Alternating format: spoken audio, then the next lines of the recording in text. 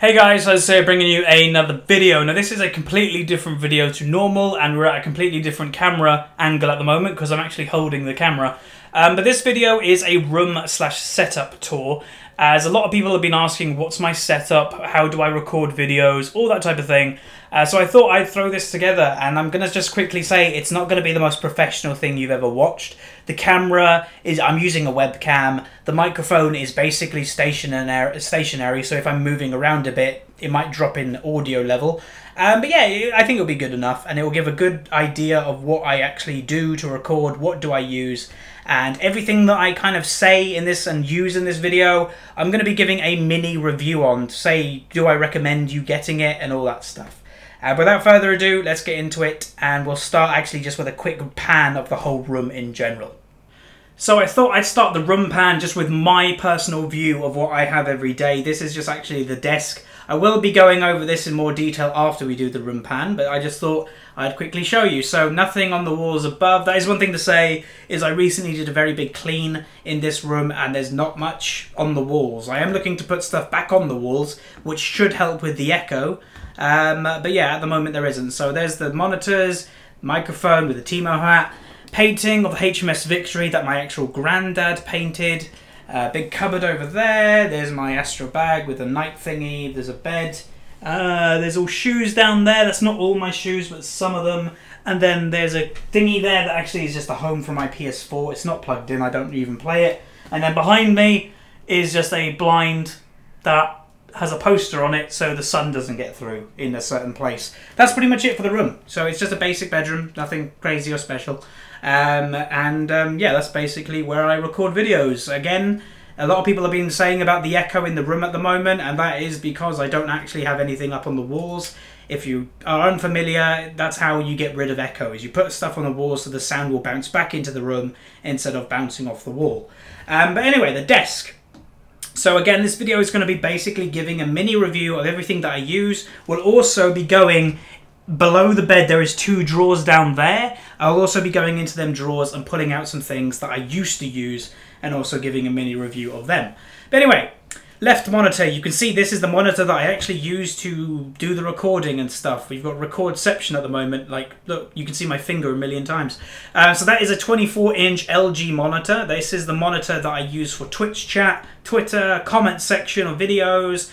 This is kind of like my web browsing monitor, I guess, or watching streams. That's that monitor. This monitor is a 21.5 inch Asus. This is the monitor I actually use to play games. You'll notice there is a slightly different coloration to it from the brightness level. I have dimmed the brightness a little bit.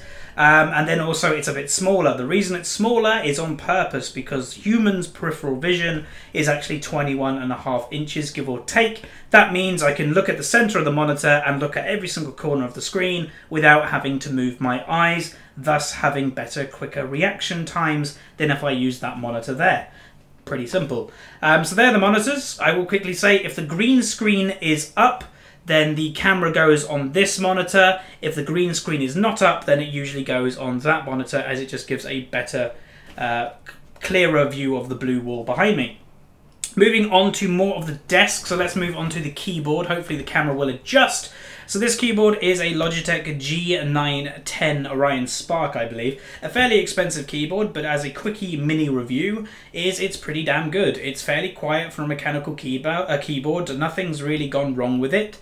I've had it for a good few months now, and you know, you can make these lights any color you want from what I know. There's different profiles that I don't even use.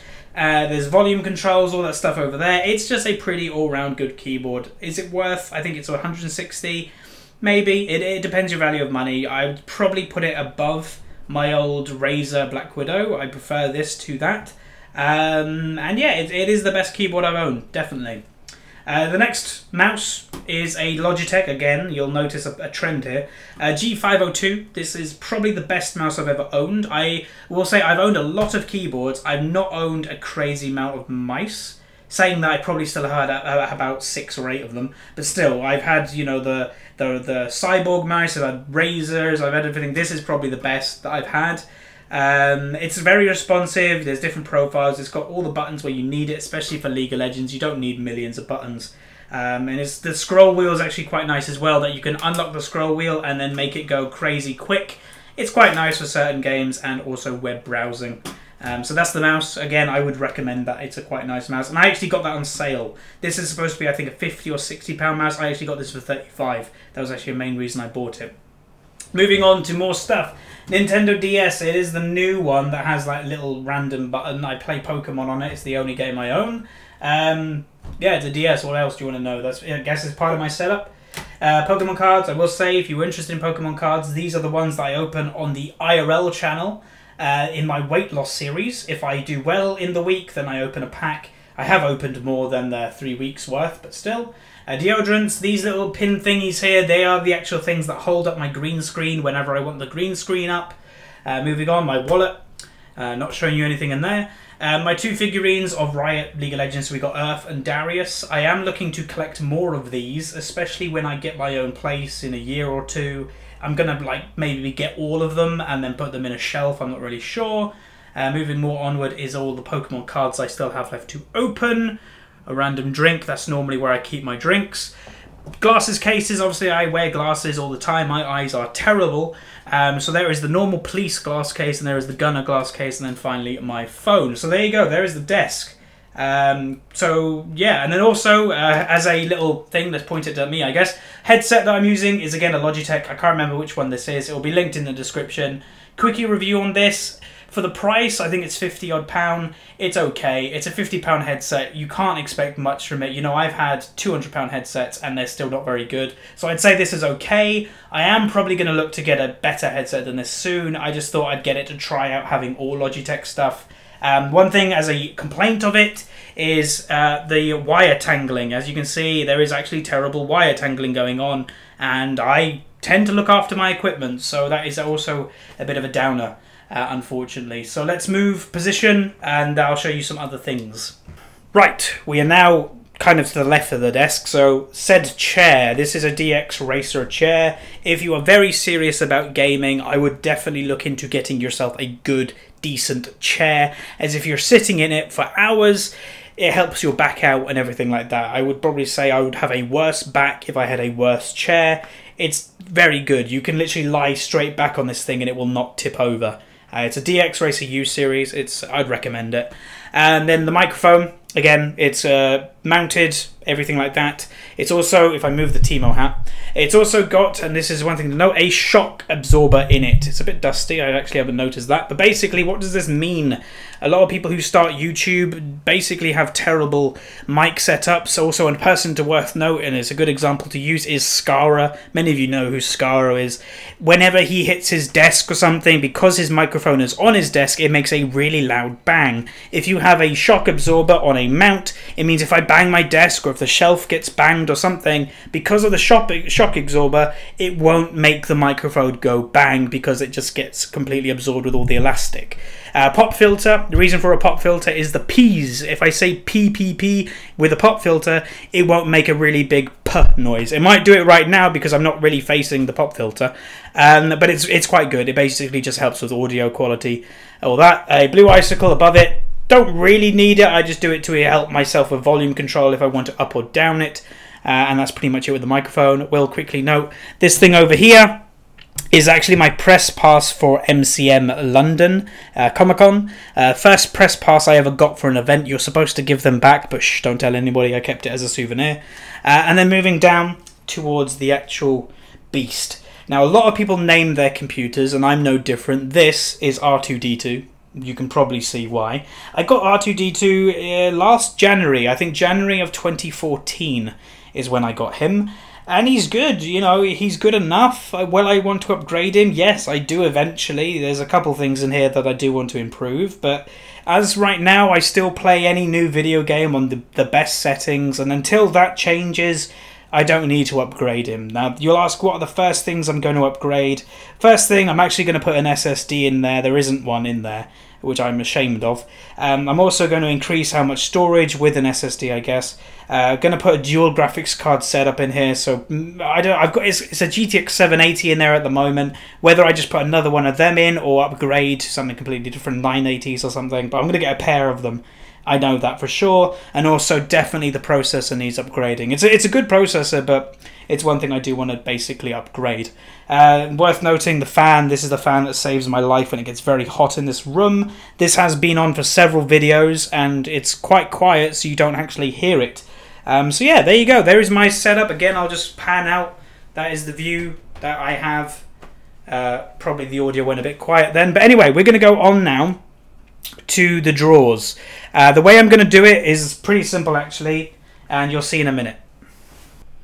Okay, welcome to the left drawer under my bed. Now, the first thing I want to say, and I don't mean this in any bad way, please nobody ask in the comment section, can I have one of these things? These are spares mainly, and I've used all of these in the past, and I use them for different things. And sometimes you'll notice in videos that I'm using one headset in one video, and then I change. It's because breaks happen. When you use equipment as much as I do, you need spares. So if we work from left to right, again, this is where the video might go a bit messy because, you know, it's hard to position everything. Uh, but I'm going to go on my knees just to make this easier. So, on the left, Razer Kraken headset. This was a okay headset. It was advertised as very comfortable. This is the least comfortable headset I've ever had in my life. I literally can only wear this for about half an hour and then I literally die. Uh, I mainly use this for my PlayStation 4 as it is USB and it's a lot easier to connect to USB. It's very shiny, um, but there you go. You can see me in the reflection, hey ho. Uh, but there is the Razer Kraken 7.1. Would I recommend it? No, honestly. Uh, next one. I'll have fun with this one a Astro A40. So Astros are known as a very big, high up brand, up market. Each headset's 100 odd, 150 odd quid, and you'll notice I don't use it. It's in a drawer. Reason for it is it's not a very good headset, and that's probably going to cause a lot of controversy. Um, but yeah, it's not very good. The wires tangled, they broke on me twice, and the microphone, which I don't actually know, I think it's actually in a drawer over there, is the worst headset microphone I've actually ever had and they're not very comfortable. The one thing that this has going for it, it looks really good. That is pretty much it with Astro headsets. Would I recommend it? No.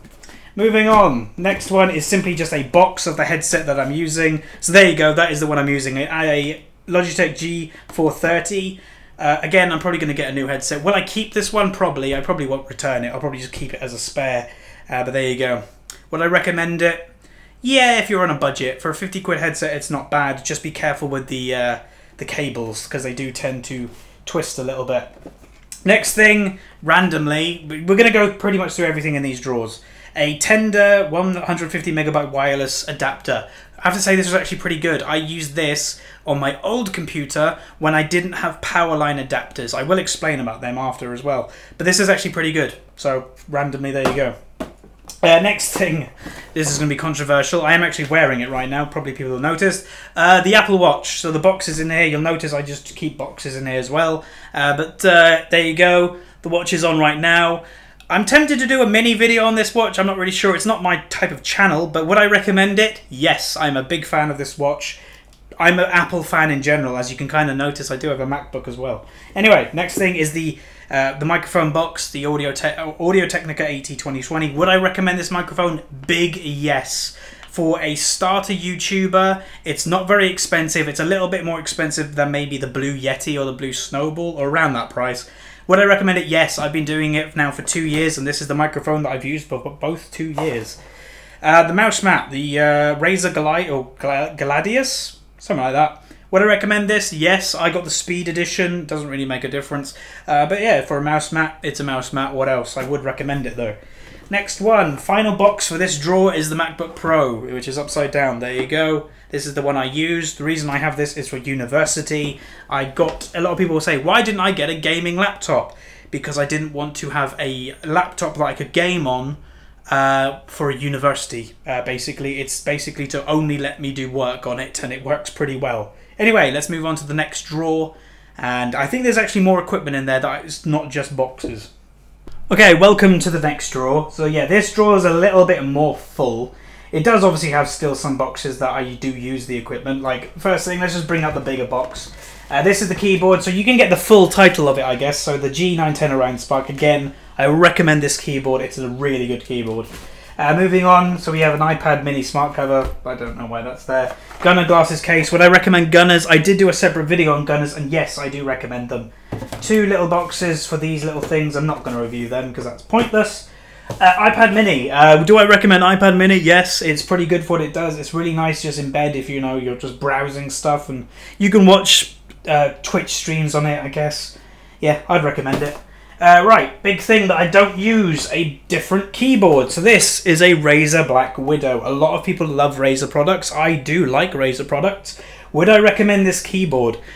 Yes, if you do not live with other people, basically. It's the loudest keyboard I have ever known in my life. And um, yeah, it was the main reason that I actually got the Orion Spark is because this was way too loud. Very well made though, never went wrong on me. Very nice keyboard, well made. Very heavy for a keyboard like the Orion Spark because it is mechanical. And yeah, I, I would recommend it, but only if you don't live with other people. Because even if you don't do YouTube and that, late, you know, 10 o'clock at night, 11 o'clock at night when people are trying to sleep, that will keep people up. Next one, spare mouse. Razer Naga. Again, this is the is this the Molten Edition? No, I used to have the Molten Edition. So this mouse is the mouse that I tend to use if I'm playing a MMO like World of Warcraft. Very good. It has million buttons on the side of it. That's why it's good for MMOs. And would I recommend it? Yes. A lot of people tend to go like have bad reviews of Razer products. Again, I don't. Not one Razer product has ever gone wrong with me. Only the Kraken is a bad product for me because it's very uncomfortable. Uh, but anyway, moving on. Again, this is the mouse that I use, so the G502. Uh, again, I would recommend this mouse. Very good. And then let's move on to other things. So my controller that I tend to use, there's an upcoming series on the channel soon uh, which is King's Quest, and I actually use this controller to play it. And yeah, I would recommend it. Very good, very good controller. Another keyboard. So another gaming keyboard. Now this was a keyboard when I was a lot less serious about gear. This was one of the first gaming keyboards I actually got. It's a lot cheaper than the other ones. Um, but yeah, I'd actually recommend this. If you're a starter into the gaming industry, in you know computer gaming, this is actually a very good keyboard, and you can't go wrong with it. It's not mechanical. Um, but it's very good. It has lighting, it has different profiles, so you can set up different macros. And that is the Logitech Gaming G110. Now you actually can see it. Again, I said this video quality might not be the best. Uh, now we have, I think, a couple more things. Yeah, two more things. One of the things is just a box, and then one is actually something else. So obviously, here is the uh, Nintendo DS box. Again, I would recommend it. It's a DS. They're really good fun. Then last thing to show you is the last headset, which I do not use, it's actually a Corsair product, which obviously Dignitas is sponsored by Corsair, and I do own some Corsair stuff, but uh, it's wireless. That is the main reason I don't use it, is that I wanted to try a wireless product. This is, I don't know, over a £100 headset. It's good, it's comfortable, but it's wireless, and wireless for me just doesn't work very well. You know, I don't want to be in a game and then have a beat play needs to be charged, or risk basically running out of charge at any moment. So not for me, but it is very good. It's nice to have spare though, you know, as I said, things can break. But that's pretty much it. That is both drawers done and a quickie mini review for everything. So I will I'll wrap up this video in one minute. So there you go, there is all my setup, all the gear that I own, and a quickie mini review for everything. So hopefully you guys enjoyed it. Uh, if you have any questions about any of the gear that I use, feel free to put it in the comment section below. In the description of this video, I will name everything that you see in this video. So if you're like, I didn't quite catch what that was, then it will be down there and you can just Google it or whatever. Um, so that's pretty much it. Again, thank you very much for watching. This is a bit of a different video. Hopefully you enjoyed it. Like it if you did like it, because then I know if I can do these type of videos more. Uh, subscribe if you haven't, and share with a friend if you've got any friends. See ya.